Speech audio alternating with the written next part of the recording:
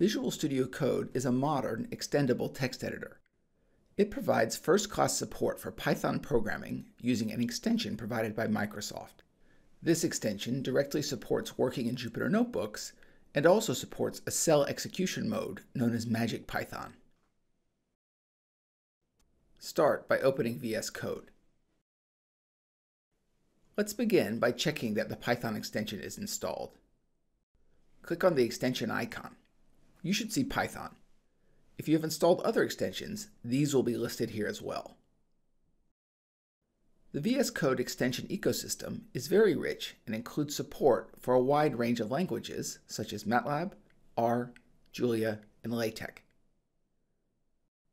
Some of the interesting extensions include IntelliCode, which adds an AI assistant, and Code Spell Checker, which adds spell checking.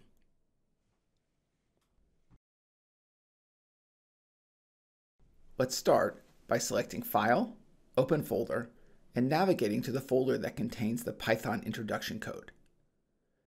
Navigate into Course and Introduction and click on Select Folder.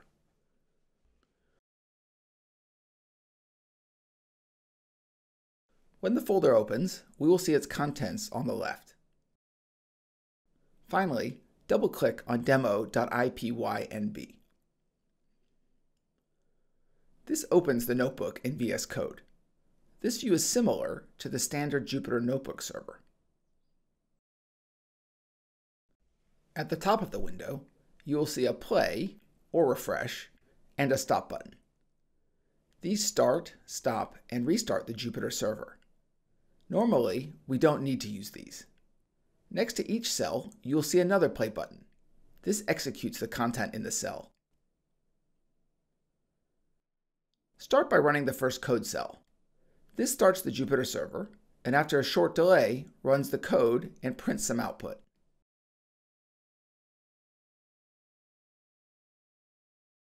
Running the next block of code imports some data using pandas and shows the first few rows.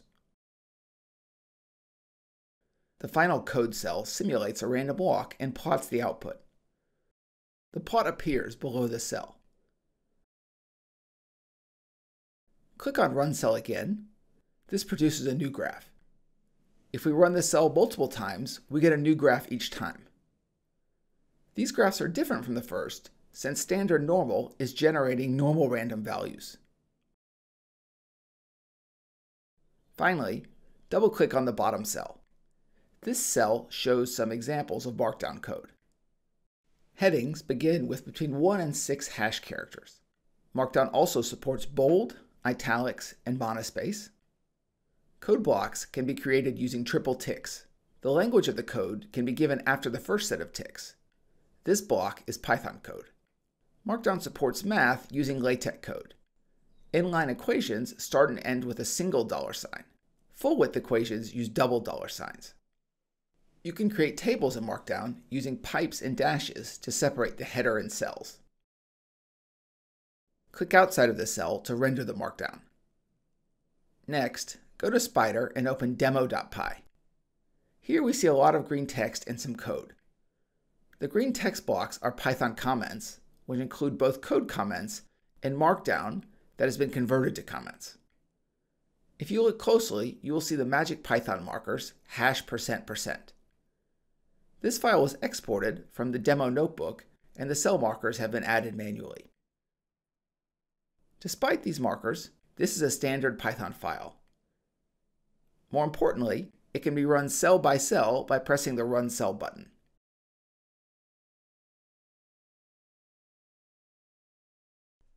We can run the first cell.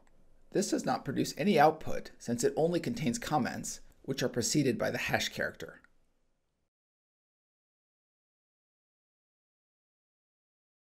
Running the first code cell prints the same output as in the notebook. Here, the cell and its contents appear on the right pane.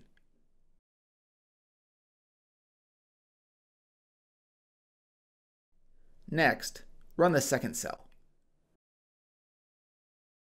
The output again appears in the right pane.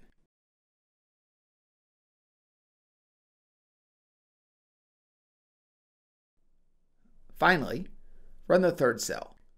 The plot appears in the right pane as well. This highlights a difference between MagicPython mode and notebooks.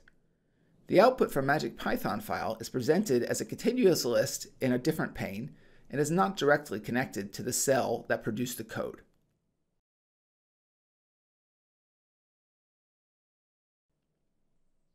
Finally, the large cell at the bottom contains Markdown.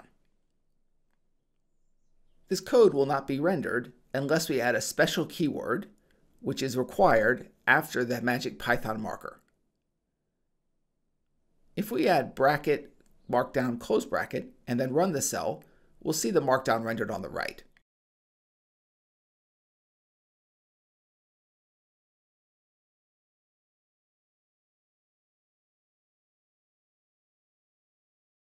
We can add this to the cell at the top to produce markdown here as well.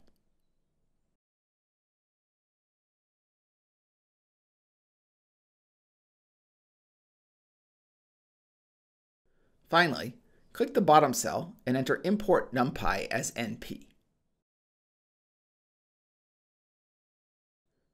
Next, enter np.array parentheses and leave the cursor. After a short delay, we see the pop-up box with the function signature and some help. If we select array and hover, we see a better formatted version that is easier to read. This integrated help is similar to, but worse than, the help viewer in Spyder.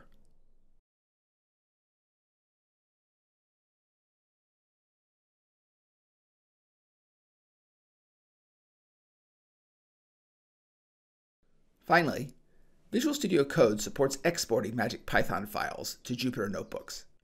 To export the file, select View, Command Palette, and then type Export Jupyter. Select the option that includes the output, and enter a file name. Here I've named the file Demo Exported.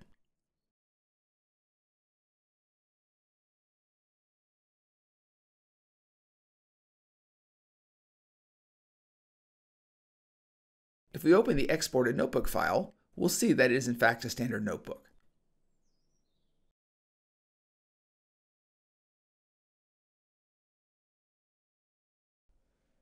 VS Code has opened the notebook in the standard Jupyter Notebook server. This is the original format for notebooks and is a good method to view complete notebooks. I cannot recommend it as an environment for writing code, since the integrated environments in VS Code or PyCharm help us write clearer, less error-prone code. We can also open the exported notebook in Visual Studio Code. In this demonstration, we have seen that VS Code is a capable editor for Python. VS Code works with existing notebooks without modification. It also supports MagicPython using hash percent percent to demarcate cells. MagicPython files are standard Python that can be run as standalone Python scripts or interactively using the Jupyter Notebook server.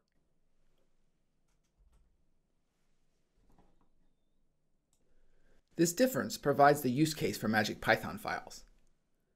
They can be interactively developed, but then executed later without any user intervention.